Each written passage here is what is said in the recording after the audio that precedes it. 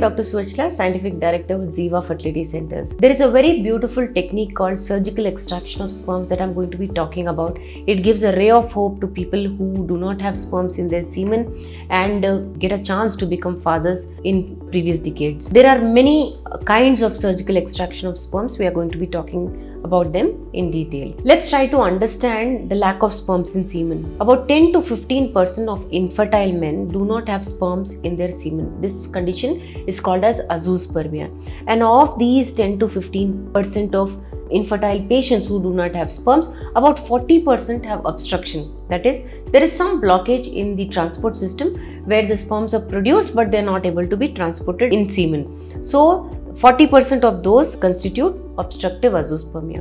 About 60% are because of non-obstructive azoospermia. It could be a medical condition where the hormones are not being released properly due to which sperms are not being produced. This video is purely about surgical extraction of sperms in case of obstructive azoospermia. So what are the goals of uh, surgical extraction? Well, we are trying to take sperms out. We are trying to keep them safe. That is for future use. We can freeze them and um, so on. And we also want to minimize the damage to testis, especially when it comes to chemotherapy and all. We want to extract these sperms and save them for future use. So what is involved? What are the different kinds of surgical extractions? There is a percutaneous type versus an open type. That is from the skin flap of the testis sperms can be extracted or there is an open type. The testis is cut open and the sperms are retrieved. Then there is a biopsy or aspiration. When a piece of testis is given, it's called as a biopsy.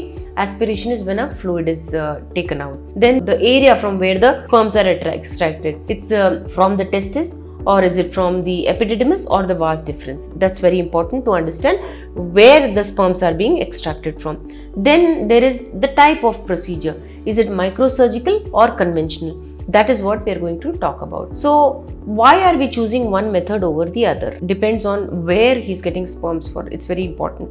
If he thinks that the sperms he or she thinks that the sperms can be easily located then a percutaneous procedure is performed where a local anesthesia is done a very simple procedure and sperms are extracted. If he or she the urologist feels that the sperms may not be available percutaneously then a deeper anesthesia is given and more exploration of the testicular area is done so that sperms can definitely be procured from some area of production. So depending on certainty or the likelihood of finding sperms, the urologist or the fertility specialist decides what kind of surgical procedure to perform. So what are the other tests needed? Definitely before we go for a surgical extraction of sperms, a complete hormonal evaluation is very important. That is how your urologist is able to decide whether surgical extraction will be beneficial or we will not be able to get sperms at all. So it's very critical that you uh, follow the instructions of your urologist or your fertility specialist.